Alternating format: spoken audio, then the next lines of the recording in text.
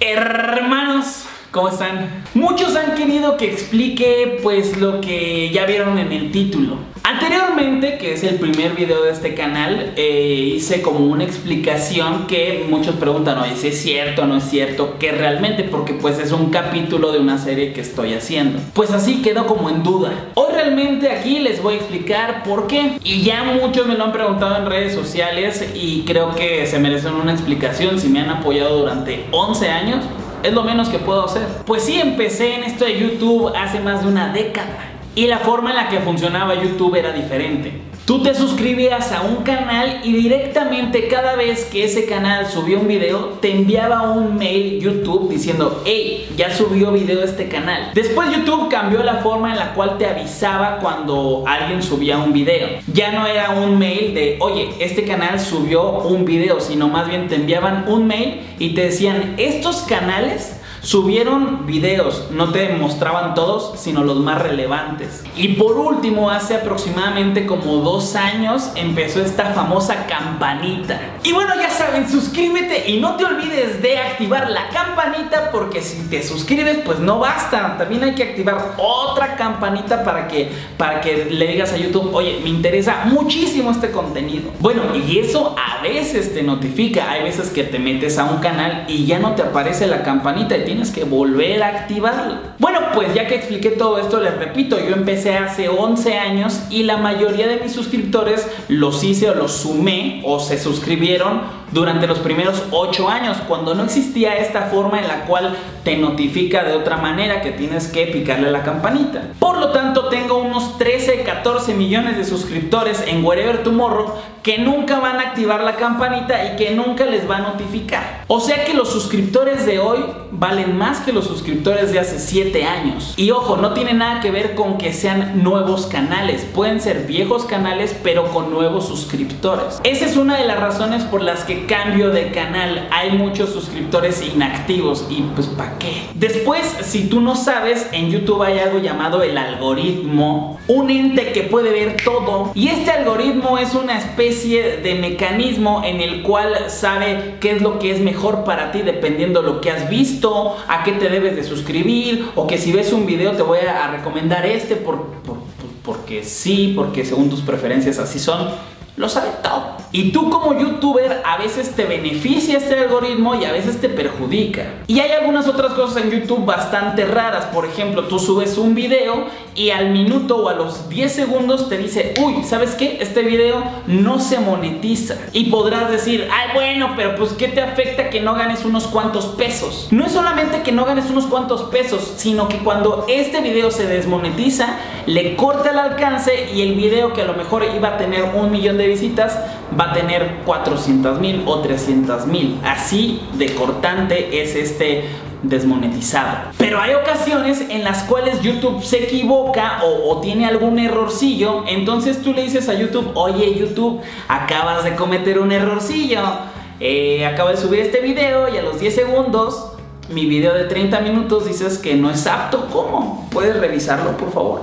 Entonces YouTube a los 10 segundos te dice, ya lo revisé, está bien, ahora está apto para todas las edades. Y podrás decir, ah, ok, bueno, entonces ya se quitó el problema. No. Una vez que se desmonetiza, ya se cortó el alcance, aunque te lo vuelvan a poner para todas las edades. Paréntesis, el desmonetizar quiere decir que no es apto para todas las edades o todos los anunciantes. O sea que tiene algo malo como lo homosexual, porque para YouTube la comunidad LGBT eh, en anunciantes no, no se puede, es muy mal. O a lo mejor tú quisiste poner en el título, me muero de amor muero. La palabra es mala, no es apta para anunciantes. Y tú le dices a YouTube, oye, eh, eh, está en el contexto de, pues, como que te mueres de amor, no que te van a matar realmente, te van a asesinar. Ah, entonces YouTube te dice, ah, ya puedes, pero ya se cortó el alcance. El sistema es impresionante, hermanos. Pues me pasó muchas ocasiones esto, pero tampoco es como que en el nuevo canal ya no vaya a pasar. Todo esto lo dije por algo, eh,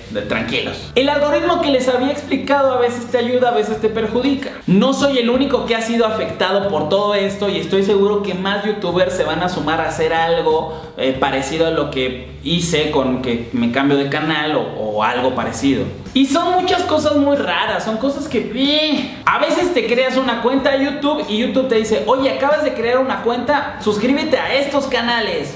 No sé por qué, no sé tu historial, no sé qué tipo de videos te gustan, pero a lo mejor ver Luisito Comunica o el Juan Pazurita te puede gustar su contenido. Y ojo, esto tampoco beneficia tanto a estos canales como a lo mejor pensarías. Porque a la larga Luisito Comunica puede tener 50 millones de suscriptores y 8 millones de visitas. No está bueno.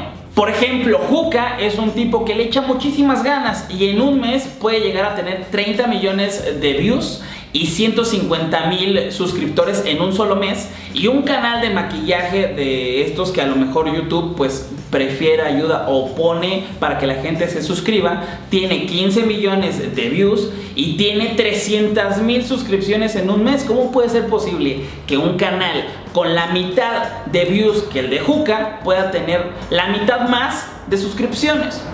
con todo esto quiero decir que mm, creo que el algoritmo o no sé como llamarle, hay muchas preferencias eh, por ciertos canales. Ustedes sabrán que si ustedes tienen la aplicación de YouTube, no están suscritos a un montón de canales y les dicen, oigan, mira, acaba de subir video tal, ¿no quieres verlo? No sé por qué te lo digo, pero no quieres verlo. Pero creo que Whatever Tomorrow ha sido afectado por todas estas nuevas reglas, por todos estos mecanismos, estos algoritmos o sistemas, no sé cómo llamarle. Y pues se siente feo, se siente feo que eh, te esfuerces y no va por la onda del dinero, hermanos. Dinero va y viene.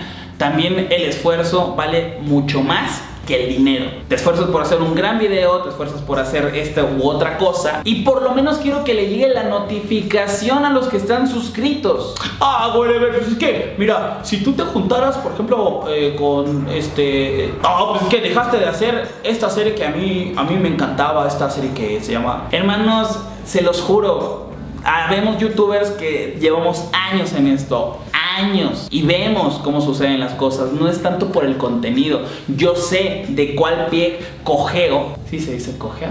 No, ¿Sí? Sí, estoy. ¿sí? Yo cojo, tú coges. Bueno, tú no coges.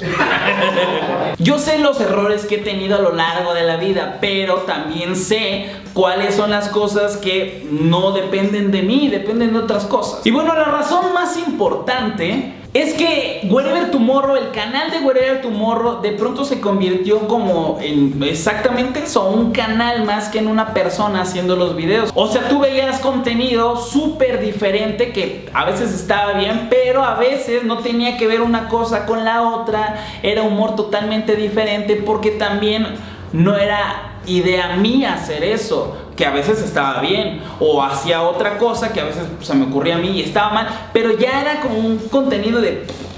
O sea, en un principio era contenido que yo hacía, que se me ocurría, lo editaba, quedaba a mi modo y le gustaba a la gente que me seguía porque decía, oye, este humor me gusta. Y empecé a delegar el canal como si el canal fuera de muchas personas a otros canales, a otras personas, que bueno, eso es una decisión mía y a veces funcionaba, a veces no. Y el contenido variaba mucho el humor, variaba mucho la, forma de hacer reír, o a veces no se hacía reír, Y en Gaborever ustedes han visto el tipo de contenido que he subido y es eh, cosas que a mí se me ocurren, cosas que yo pienso, cosas que yo creo.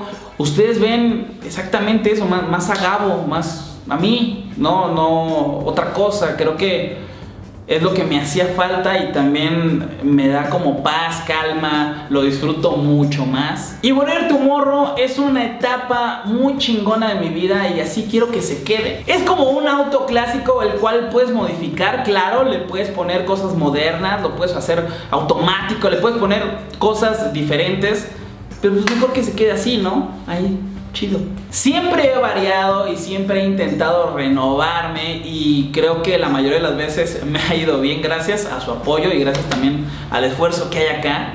Y sin más, pues les doy la bienvenida a esta nueva etapa en donde si ustedes quieren estar y ver más de lo que yo les tengo que, que mostrar, que, que hacer reír y si quieren suscribir y con la campanita sería chido también.